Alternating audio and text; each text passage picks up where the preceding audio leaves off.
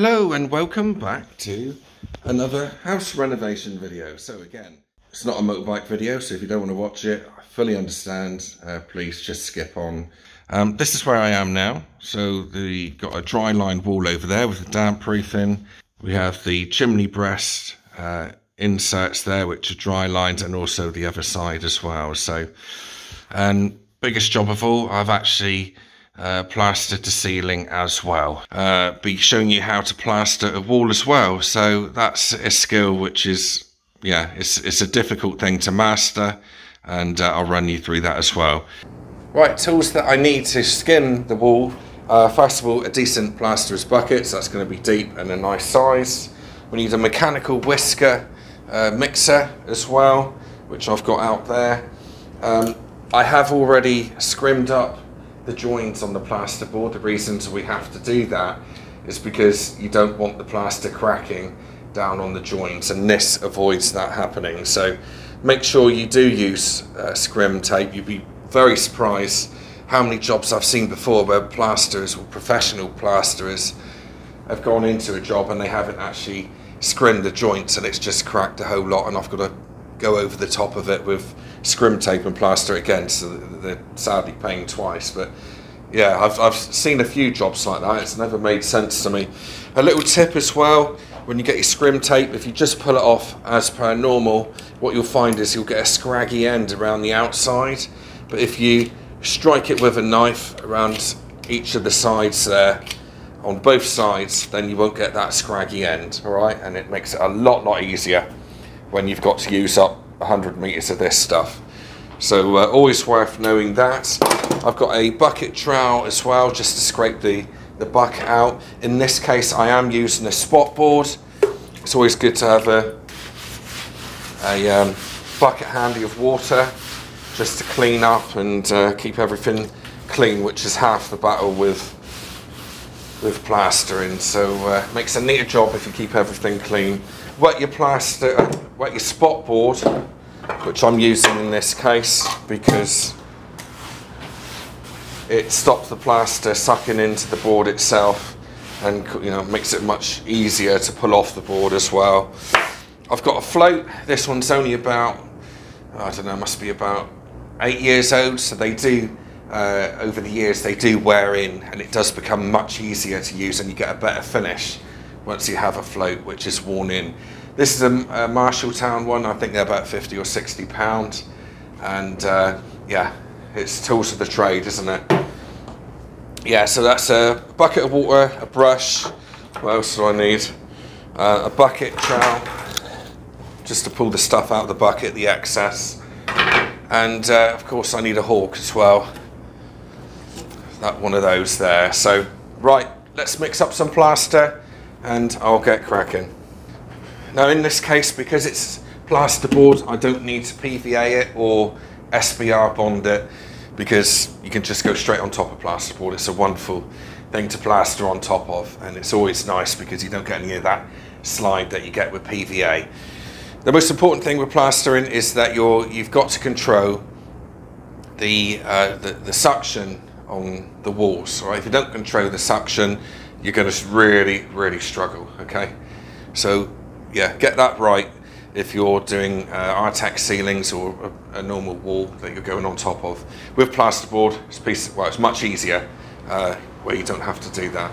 Right, let's uh, get some plaster on the walls. Okay, plaster mixed up. Don't really need to have a spot board for this really, but it does make it easier. Certainly when I was doing the ceiling, it's quite a big, wow, it's a biggish ceiling, so but to uh, make it as easy as possible for my bones. Not going to be retiring anytime soon, so plastering is an art at the end of the day, and it's one which I've got a, a few strings to my bow, but plastering was the one which was probably want, Oh, mix it up a bit runny actually. It's a yeah, it's a skill which is really quite difficult to learn. You can't teach it. It's just something that you got to learn the hard way normally. Actually, Yeah, we've all had uh, plastering jobs that have gone a bit wrong. So, best way I, I would teach it really, this is too sloppy, but best way I teach it is get a bit on your float, like so. Start about four inches down, go down, back up, grab a bit, and then push it into the top. Hmm. That gives you a, neater finish. Then so it's down, back up, grab a bit, and push in. Like so. The longer the strokes that you use, the better. Going in this top corner here, into the corner, over to the right. Grab a bit on the heel of the trowel, on the back edge, and then just go up the top there and pull it down. So basically when plaster dries, it kind of shrinks on itself and uh, and as it shrinks it, it kind of pulls into the nooks and crannies. So this is the first coat of two basically.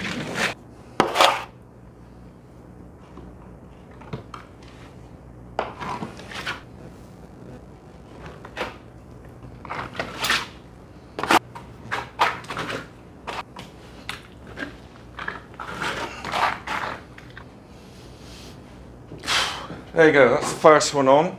So uh, you can see how that goes on there. So what we're going to do, we're going to walk away now.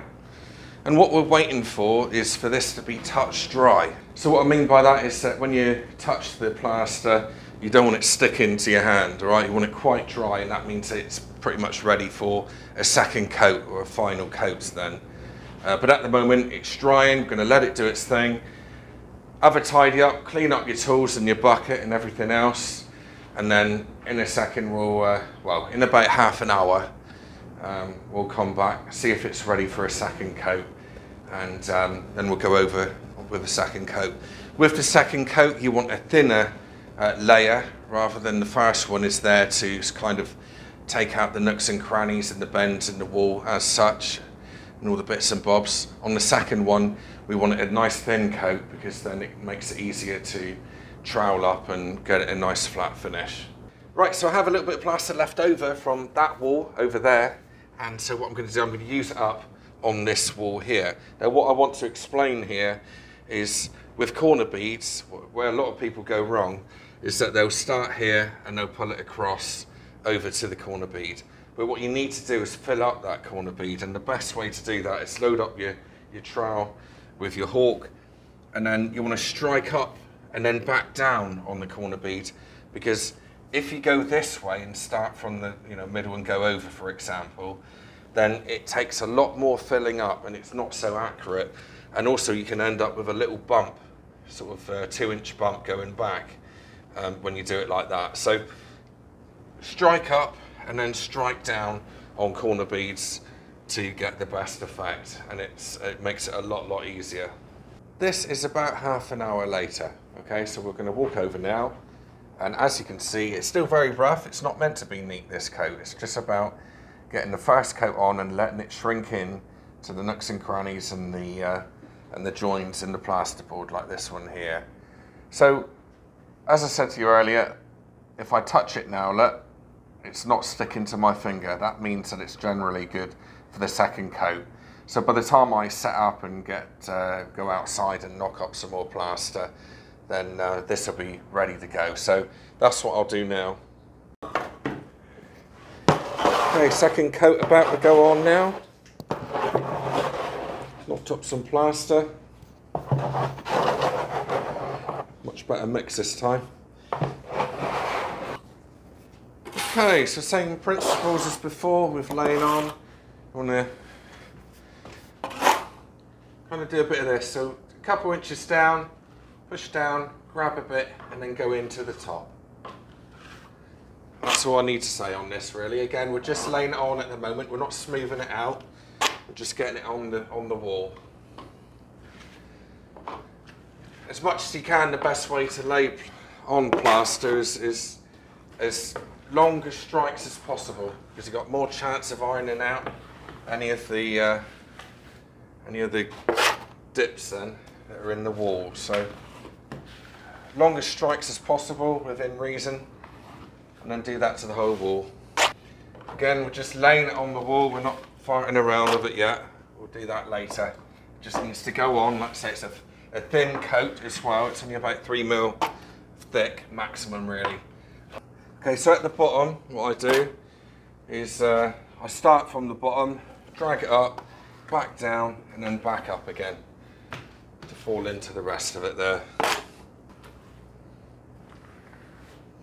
Again, get rid of the excess plaster left over. And your flexi bucket, for example. Get rid of all that and wash up. Okay, so 10, 15 minutes later, 10, 15 minutes later, I'm just gonna go over it now. Kind of probably a little bit early more than anything, but why not, eh? So again, what the way I do it is in a semicircle, first trowel over, like so. You kind of know that you're going in the right direction then. I generally pull it down from the top as well. Funny how like I've been doing this so many times now and actually when I'm walking through it with you guys, you don't realise how much you've learned over the years. But yeah, I, uh, that's the way I normally do it. Grab a bit, pull it up the top and then drag it down. That's what you always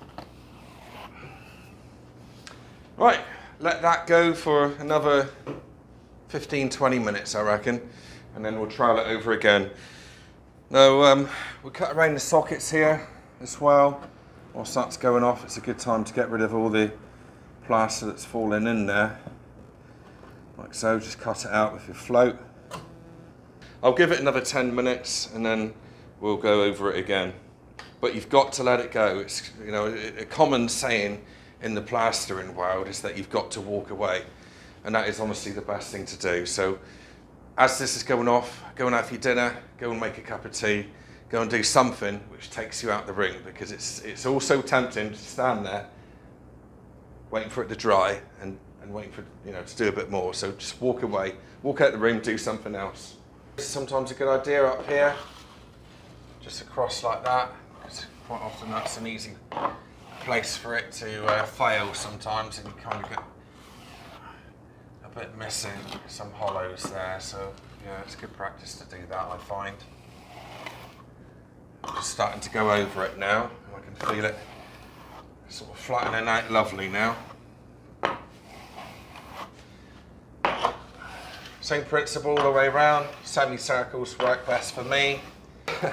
if I wasn't filming, then I probably would have done the other two walls, but with filming and all the fighting around with the cameras, I didn't want to take on too much, so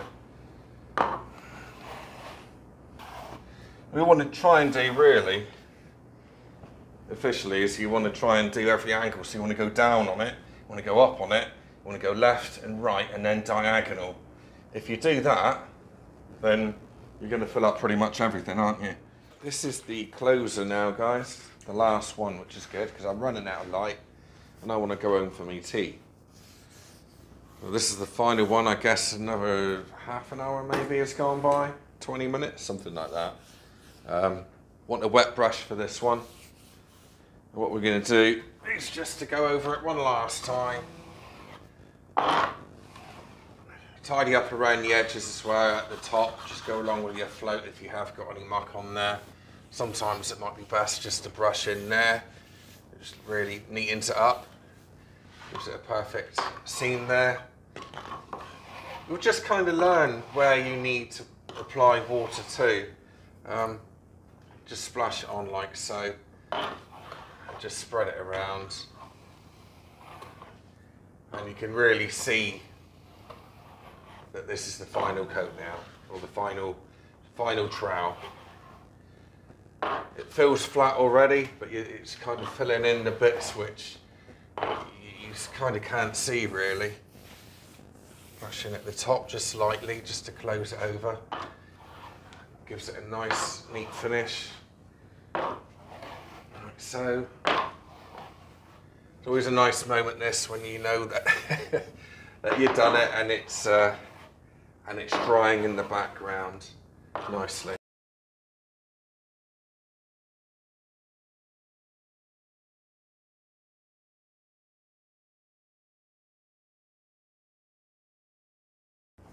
By the way, I should show you the end product, shouldn't I? So, can you see that? Dead flat, dead smooth, really, really smooth, like glass that is.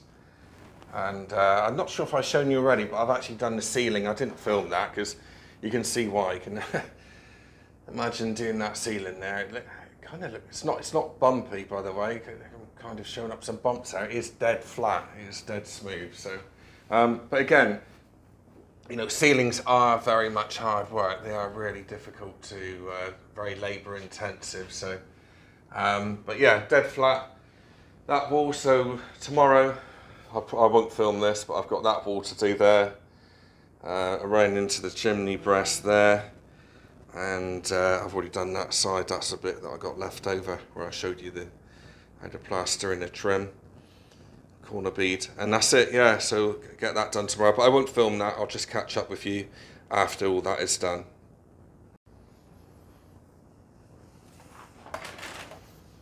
So I want to quickly show you how to do corners uh, or how I do corners. Now just to put you in the picture this is where I am. So uh, first coat on of that wall there. Fair old size. Also put a, a wall on in the corner over here as well. Uh, just that back wall there. And, uh, and I've also done this. So I want to show you how I do corners. Uh, hopefully you can see that is a corner there. Now this has uh, gone off for, well, it's the first mix and it's been going off for about 25 minutes or so since I mixed it up. So um, corner trowel, this is a Marshalltown one. They, they normally make the best stuff for anything masonry, whether it's uh, bricky work or plastering work. Um, yeah, so I, this is how I do it. Some people go in and then brush down at the end. I much prefer this because it fills up the gaps. So I'm going to get some, a bit of plaster on it, like so. Not a lot. I'm not going to get my ladder out at the moment and get right up the top. But just go like that and just fill up the join there and just go down. It doesn't take a lot of filling up anyway, generally speaking. So, uh, and that just closes up the gap there. So much easier with one of these, I can tell you. There was a time where I didn't have one of these and I was cutting in um, without that. So just to do this other corner as well, in the chimney breast area.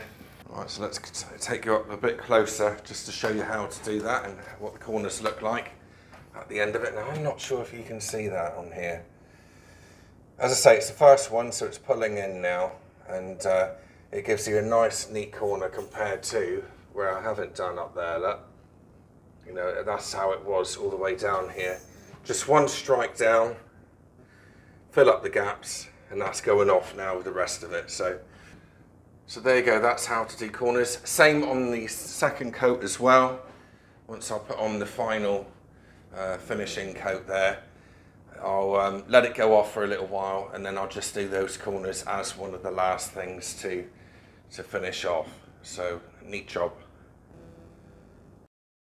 Thanks very much for watching this video. If you got any comments or any questions that you want to ask me, please drop them in the comments box below. Uh, I've got all the products that I use. I've got links in the description. And I have many more videos as well uh, on DIY projects, including moving a radiator, insulating a bay window, and much, much more. So drop me a subscribe, like the video would be really appreciated, and I'll see you next time. Cheers.